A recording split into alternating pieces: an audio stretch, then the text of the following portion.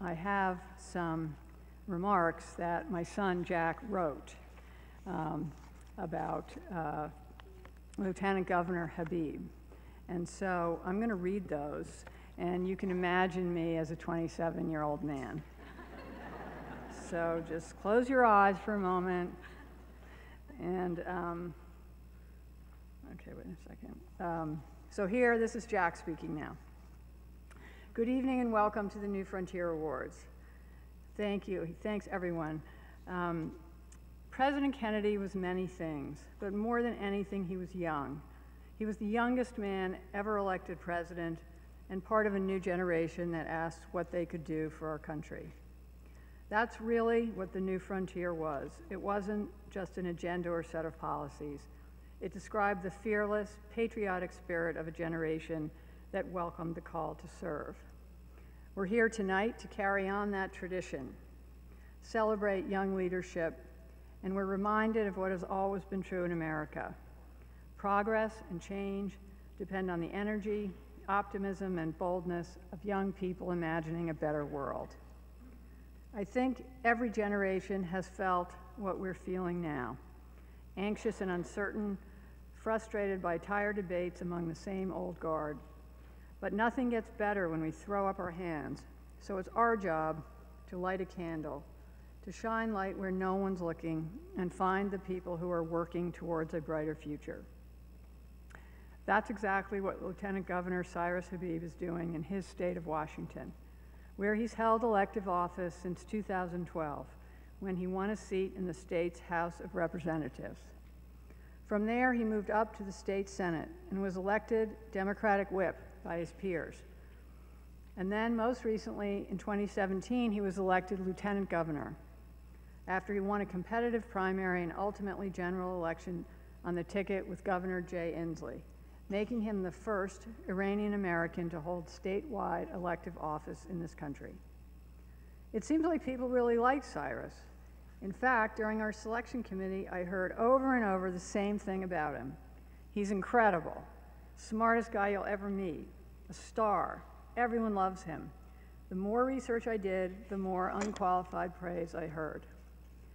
I wanted to find out the real story, so I spoke to the most unbiased source I could find Judge Susan Amini, Cyrus's mom. she told me how her son had lost his sight at eight years old, battling cancer as a child. She told me that she did whatever she could to help him, but really that Cyrus was the leader in his own destiny. She gave me an example. Cyrus learned to ski as a blind person. He'd call her after a day on the mountain and enthusiastically say, Mom, I fell 20 feet, to which she would reply, Okay, great, do it again. But what about his political skills? I asked. Was he always so convincing? Apparently he was. Whenever he got in trouble, she told me, he would debate with his mom until she was convinced she had made a mistake, not Cyrus. and before our conversation ended, Judge Amini slipped in just one more interesting fact about her son. He climbed Mount Kilimanjaro last year. Uh, yesterday afternoon, um, uh, my daughter was over, who's just written a book about climate change, and she had uh, recently interviewed Governor Inslee. So we reached out um, to him to see if he has had any uh, words to add um, about his lieutenant governor. And this is what he sent this afternoon. Um, Cyrus is a constant inspiration, not just because of his elected office, but because of his life. All parts of his life inspire every day. He's done great things for Washington State, and this award is a recognition of his accomplishments and what he will do for our state and our country in the years to come. And if all this weren't enough, the Lieutenant Governor has a strong record of achievement on critical issues like education and climate change. This is Jack now. His scholarship program has changed students' lives and let them see the world, and the Inslee Habib administration is among our nation's leaders on aggressive climate change policy action. Lieutenant Governor Cyrus Habib challenges the rhetoric we hear today about a new generation of Americans that doesn't care, work hard, or get things done. He's done all of that and more, and I'm honored to present him with the John F. Kennedy New Frontier Award.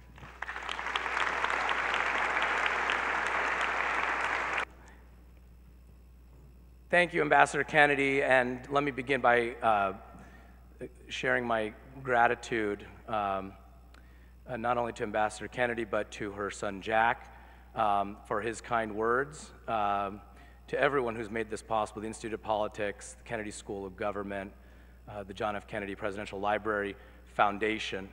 Um, and uh, I want to thank a few guests that I have here with me, uh, without whom I wouldn't be here um, three individuals who uh, got me elected and who have made sure that I haven't then squandered that position by messing up too badly in office, by being really my closest advisors, trusted friends, um, and um, staff throughout these uh, seven years that I've been in elected office. Libby Hollingshead, Miranda Roberts, and Christina Brown who are all here. And I, I, I hope and I know that every elected official who wins this award, I'm sure, uh, says and knows this that um, we are nothing without the men and women that work with us, work in our offices, and make it possible for us to do the work of the people. They, they, they don't often win uh, and are, don't have the opportunity to win awards like this, but they are what makes this country great, what makes our government work so well.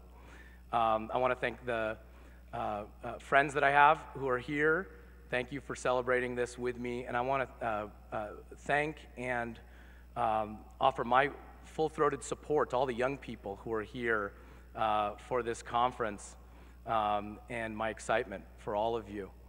Uh, let me say a couple things about family because um, this is a, a, Kennedy event, and I think um, it's impossible for us to think about President Kennedy without also thinking about his family and uh, that's most clearly on display here um, with his beloved daughter um, and his grandson's leadership of this committee.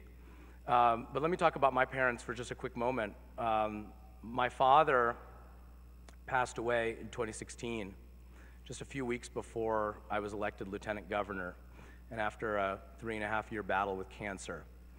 And um, I'll tell you why I know he's smiling down on me right now uh, it's because, uh, you know, coming from an immigrant family, um, what's, the, what's the biggest uh, and, and, highest and best hope that every immigrant family has for their kid?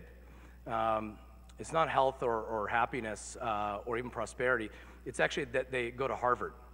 Um, and, and so, um, and so, uh, and so I, I wanted to make my parents happy, and so I, I actually applied early decision to Harvard, and did, didn't get in, um, and, um, but went to a, a, fantastic university. I went to Columbia um, for college. But then when law school came around, um, you know, my dad knew that I'd, I'd, gotten good grades, so he was excited that I was going to apply to law school. He thought maybe I had a shot to get into Harvard Law School. And so I did. I applied, and I did get into Harvard Law School, but I also got into another law school. It's, it may be dangerous to mention it here uh, in this town. Um, but I got into Yale Law School, and so I'll never forget when I went and told him, you know, Dad, uh, I've decided that I want to go to Yale Law School. And my dad goes, wait, I, but I thought you, you did get into Harvard. And I said, yeah, I, I, I did. And he said, well, I don't understand. Why wouldn't you go there? And, he's, and I said, well, you know, this focus on public interest, and this is why I want to go, and whatever. And, and he said, all right, well, we've never told you what to do. Never, you know, we've always supported you, encouraged you, whatever you want to do. But here's what I'll tell you you go to Yale, study hard, get your degree, and then you can frame that degree. I'm going to take the admission letter, letter of acceptance from Harvard Law School. I'm going to have that framed and keep it. So that was his love of this institution. So now, finally, he knows that I've received an award, let's call it a degree, that I've received recognition from Harvard University. So I know that he's smiling down from heaven. And without him, without him coming to this country and finding a new frontier as an Iranian 17 year old, finding the University of Washington, I wouldn't be here, wouldn't be in the United States, wouldn't have been able to enjoy the benefits of this country for a person with a disability. And then my mom, and you heard Ambassador Kennedy mention her, Judge Susan Amini, who uh, uh, inspires me each and every single day uh, as a public servant, one of the first Iranian American women to run for anything in this country. Um, and I often tell the story of how when I was in third grade, I'd recently become blind.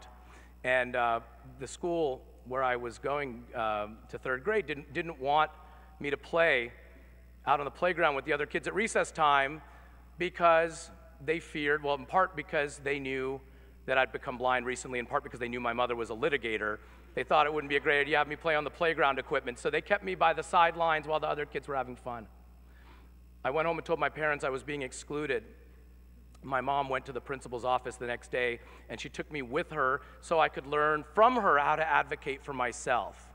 And she said to the school, I'm going to take my son to your school and I'm going to teach him how to get around the playground and use the jungle gym and the swings and slides and everything. And he's going to learn his way around differently, but he's going to learn his way around and have fun just as well as any other kid. And then she said, You know, it may happen that my son might slip and fall, and he may even slip and fall and break his arm. That's a fear that any mother has. But then she said, I can fix a broken arm, but I can never fix a broken spirit.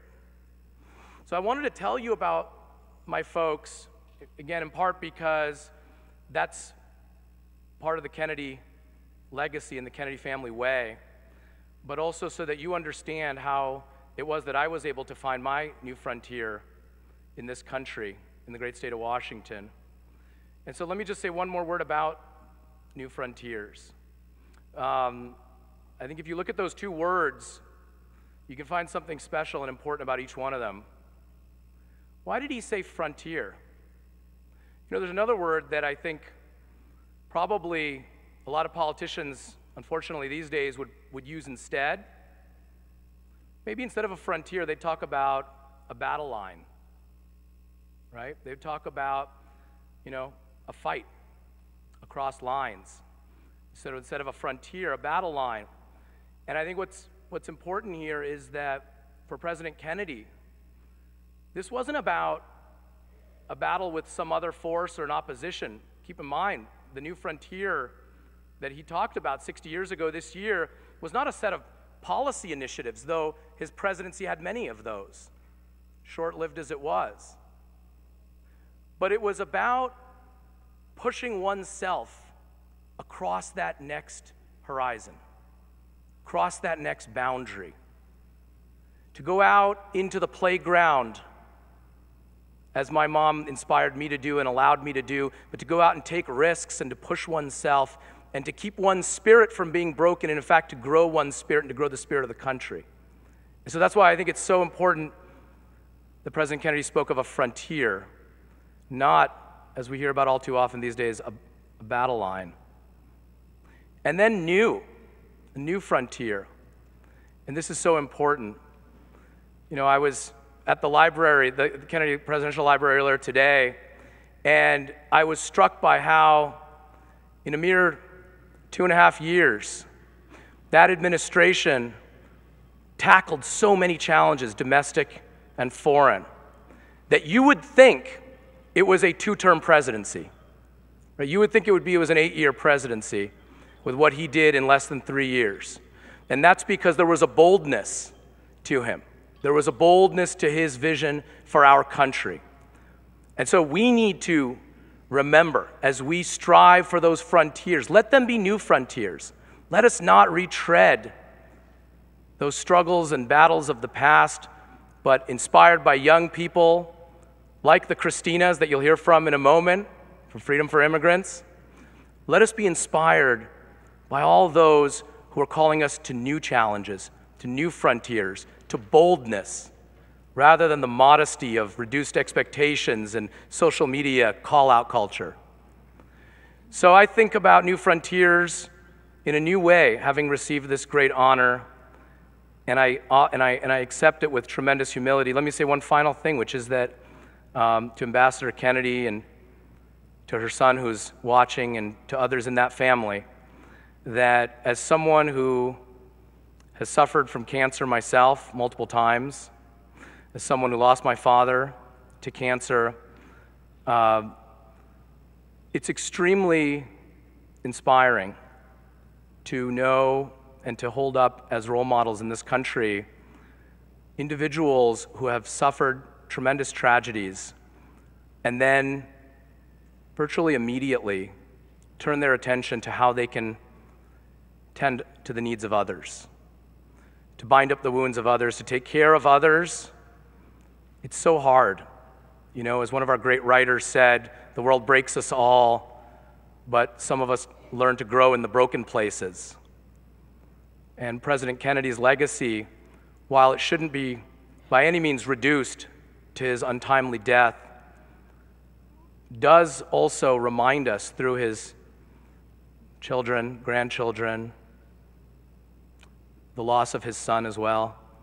Um, it all reminds us of how much pain this world can inflict, but that whether it was for him through the inspiration of Catholic social teaching that meant so much, or whatever tradition it is that inspires us, that we can be called to overcome that pain and suffering, perhaps best when we put others first and put ourselves to the service of others. That to me also is the meaning of the new frontier. So thank you, Ambassador Kennedy. Thank you to the committee and all who've made this possible. God bless you all.